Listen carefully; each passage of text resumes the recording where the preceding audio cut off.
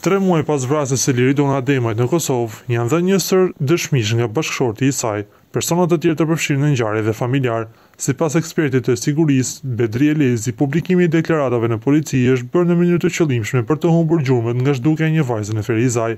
E cila mendohet të jetë shoqja e Liridonës.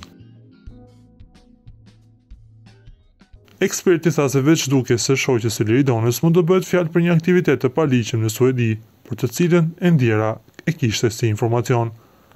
Nuk ishte e nevojshme të publikoheshin deklaratat e para, publikimi mund të jetë për të çorientuar pistat reale të hetimit. Unë kam thënë se jeta e së ndjerës është marrë për shkak të sekreteve që ka pasur, Ishte një mikeshe e saj nga Ferizaj. Fati i saj ende nuk dihet. Ndërlidhet me marrëdhëniet që kanë pasur, e zhdukura në Suedi ishte mikeshe e Liridonës. Dyshimet e mia personale, kemi të bëjmë me një organizim vrasje nga persona që nuk janë të ndaluar, për shkak të informacioneve që kishte e ndjera.